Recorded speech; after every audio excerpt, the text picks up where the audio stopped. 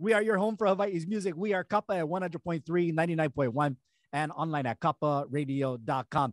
Uh, very happy to have this brother join us this morning. We call, uh, call him one of our Cali Hawaiians who live in California currently, but also still leave, living and breathing Hawaiian music. Ladies and gentlemen, is joining us on the Kapa Cafe this morning, Mr. Steven Espaniola. How are you, my friend? Aloha. Yeah, how's it, Jaz? Aloha, Good, Good to see you, my man. How has uh, life been treating you during this uh, pandemic, my man? Oh man, it's you know like like everybody else, it's just been you know learning how to live in this new world, right? So right just just uh, learning how to be safe and learning accepting that it's it's probably going to be here for a long long time and just learn how to deal with it just be smart be safe yeah yeah roger that man well let's let's go, let's go back to the beginning a little bit um how how um i guess explain your love for hawaiian music when did it start uh, especially living in california how it is that how is it that it, it continues to to to drive you through these years be you know living so far away that's a great question. um, so uh, I'll give you the uh, sort of like the uh, the Cliff Notes version. The uh-huh. um, so I mean I grew I grew up on uh, Oahu in uh, Manu, and I moved to the Bay Area when I was in my teens um, to be with my mom. And um, I went through, you know, all the rites of passage and and um, uh, learning learning different types of music. Mm-hmm. And it wasn't until um, uh, I started to to really miss the music that I heard growing up. You know, the Hui Ohana and and um, uh, Gabby and all of that. It, there was just a point in my life where I was just really longing for it, really wanting to reconnect. Mm. And um, at the time, I was playing for a um, I had a Bay Area band. We were called Kilohana, and um, we would play for various halau. And our, our singer um, left the band. I was playing bass at the time. And um, we all kind of looked around the room and asked, you know, hey, who wants to step up and sing? And I was like, I guess I can try. I would, you know, I didn't, I didn't really um, count myself as a singer at the time, but um, but the music that I remember hearing as a, as a child um, was really kind of ingrained in in you know who I was, and so and did falsetto immediate? Did you when you oh, first sang? Was yeah. it immediately falsetto immediately? Bro, I went in like full, full, full on, full on. Hey, if I'm gonna try, I'm gonna try the hardest thing. right, right. And so in the beginning, I was just you know kind of emulating um, Uncle Dennis Pavao, uh, Gary Haleamau, and uh, Darren Benitez, like those kinds of singers who I remember hearing, you know, and I would just emulate, right? Um, Uncle Saichi was, was, somebody who I, I sort of um, recalled as a falsetto singer here in the Bay Area as, as somebody that I could, um, um, you know, at least be in the same ballpark and and try to emulate, right? So. In the, in the in the beginning, bro, it was like rough. It was it was it was rough, and you know, like I, I, would just try to emulate the sound, and it took me a little while. Uh, I would say a good couple years before I really got the confidence um, to to take you know to really charge them and and um, um, take on Leo Ki'e full force. Falsetto is one of those things, and um, it, it's one of those singing styles that you got to have a, lo- a, whole lot of confidence to to to pull it off. you know, grow, grow, growing up or spending a majority of your life in the Bay Area, you know, Bay Area is known for funk and oh, and, oh, yeah. and known for R and B, and there's a yeah. definite difference between that falsetto singing and Leo Ki'e Ki'e. Oh, and, most definitely. Yeah. yeah. And did you find yourself like, oh, do I do it like Phil ba- Philip Bailey or do I do it, you know, you know what I mean? Yeah, it's funny because I teach that in um, I do workshops, you know, like a light workshop on on on falsetto and, and the sort of the origins of Hawaiian falsetto.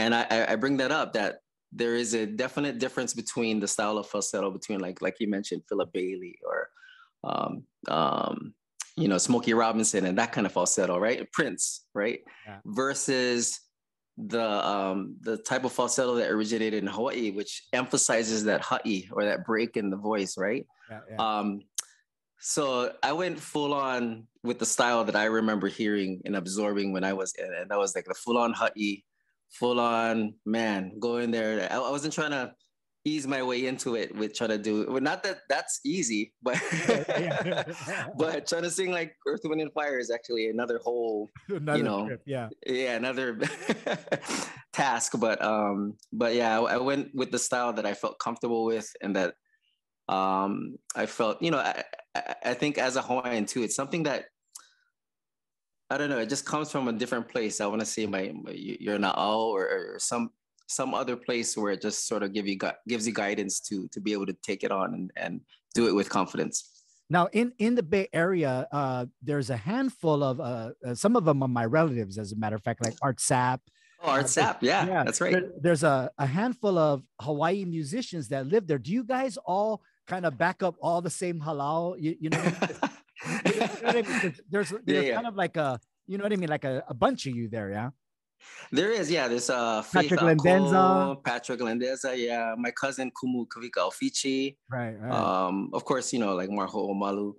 You know, there, there's um Patrick uh Makuakane, uh, yeah, Kumuhula, yeah. right? And and so there, I mean, there's a there's a, a really big scene here in the Bay Area, and there always has been. Um, and um, I think the the Bay hello is is sort of a great foundation to sort of keep us all rooted and keep us right, all accountable, right? right? Yeah, yeah. Um, and so you find you find especially like um, uh, brother JD, brother Art, to um, you find us all, especially like around Ia Oye Kala time. Um, uh, there's a there's a couple of Mayday festivals, the Aloha Festival. You see us all sort of well when we're able to to go out and yeah, congregate, yeah, yeah. right? but huge. we would all sort of some of those events are huge. Oh, they rival. I mean, I think any event that's going on in Hawaii right now. I went uh, to uh, know, an event in Gardena maybe 20 years ago, and oh, I had never seen so many Hawaiians in one place, like outside of Hawaii. Was, oh yeah, was that the uh, Heritage of Aloha Festival? Yeah, I think yeah, yeah, yeah. That's the, I think that's the one that um, Puni,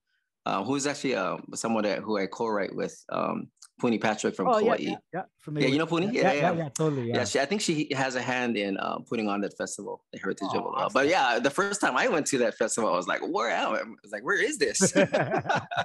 because there's more Hawaiians in one place than you would ever see. Right, right. I heard like the Gardena area, man, it's crazy, even more than oh, yeah. Vegas and whatnot. As a matter of fact, like when I would do my um uh, every year we would go to the NAMM festival mm-hmm. in um in uh, down in Southern California, and the gig that I would set up while I was down there would always be in Gardena, California. Um, and it was, you know, I would always the first time I, I set it up, I was like, oh, nobody's gonna show up at this thing. Like, and it was like, I was surprised. Yeah. It, was packed house. Yeah, it was yeah, yeah. yeah, yeah, yeah.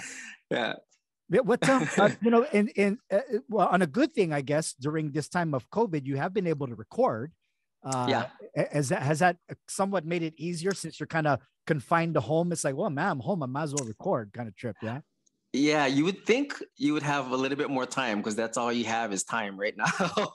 but uh, the way that I record, I've been recording with um, Dave Tucciarone. You, you, probably know Dave. Oh, of uh, course. Over, so have you been flying? O- have you been flying flying over? Or no, well, flying tracks.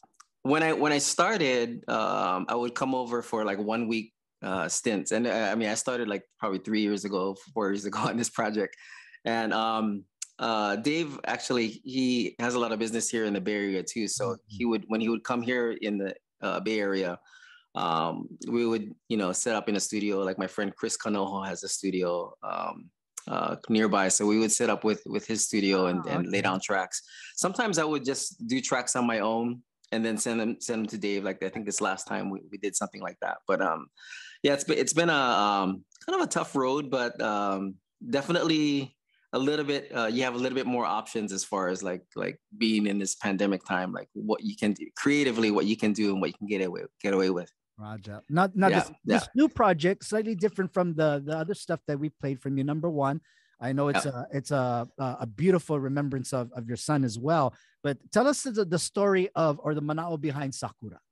Oh, mahalo nui. Um, so this was uh yeah, yes our son um Phoenix Kahanu he uh passed um uh, several years ago, a few years ago, and um, and our friend Puni uh, on Kauai, she had gifted us, my wife and I, uh, this beautiful poem, um, which compared him uh, to the fleeting beauty of a sakura flower, which would, would come at just a you know like a just a, just a brief moment, right. um, and then you know you would admire its beauty, and then and then it would be gone for, until the next year. Mm. So um, I was just, my wife and I were both really moved by this poem, and she presented it to us in Kauai. Mm. And I would say, like, almost immediately, I started to um, get ideas for presenting this poem in, in uh, more of a song format so that we could share it with other people. Mm. And um, in particularly, in particular, other people who have gone through uh, similar types of loss or loss um, of, of, their own. Um, um, by the way, um, um, uh, in our pule for your for your for your uh, for your loss. Um, oh, thank you, loss. Thank you, brother. Thank you. Um, and so I started to uh, almost immediately. I started to um, uh, get inspired to, uh, and this this melodies just sort of came from um, wherever melodies come from. Right, right. And I just I just started to um, hash out the song and sort of rearrange the poem into more of a traditional Hawaiian uh, or song context mm. um, with a hui section. Um, and then, um, yeah, and we just, we, uh, I, I, had a rough version that I, that I laid down and I emailed it to, uh, to Puni and she, she loved it. And um, from there on, we sort of just made minor tweaks here and there. And then we started to, uh, Dave and I started to um, record it. Oh, wow. Awesome. Beautiful. Yeah. It's great to, it's great to for uh, those that live away to have a, a kumu uh, or mm. a hakumele, you know, in Hawaii to make that connection. Awesome, because it always oh, keep, yeah, for sure. always keeps you authentic yeah. too. You know. Yeah, and I, you know, I have sort of that here uh, in the Bay Area. My cousin uh, Kumu uh, Kavika Alfiche. Oh, always good to have somebody to uh, keep you grounded, but most importantly, to keep you in check, and and you know, let you know when you know things aren't you know pono or um, you know yeah, when yeah, when you shouldn't be doing this thing or that thing and uh, yeah it's always good especially to have, if, have especially if somebody's gonna dance it. Especially for sure.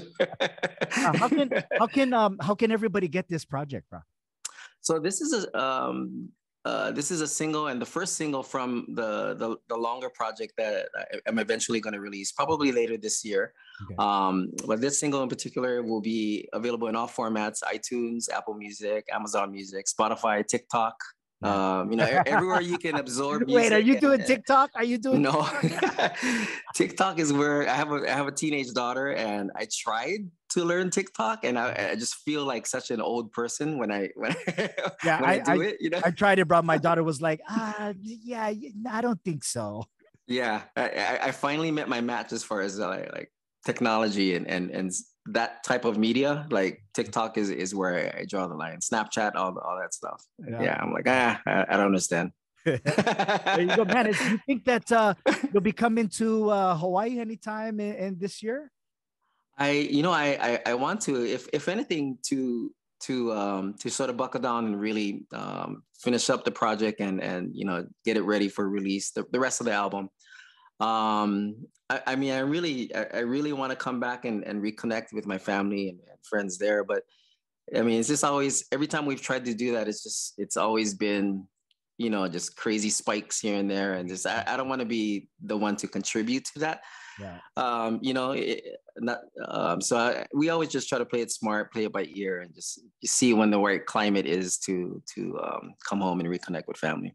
Roger that. Well, thank God for social media. We could still connect. Yeah, you know, for sure. It's great to see you, man. Yeah, I, yeah, haven't heard too, and seen you in a long time, you just too, on Facebook. Man. You too, man. well, everybody go pick it up. Like like like Steven said, it's available pretty much everywhere. And uh, we've got it here on Kapa. So here it is, ladies and gentlemen. Here's Steven Espaniola with Sakura. Mahalo, brother. Mahalo nui. Ahui ho.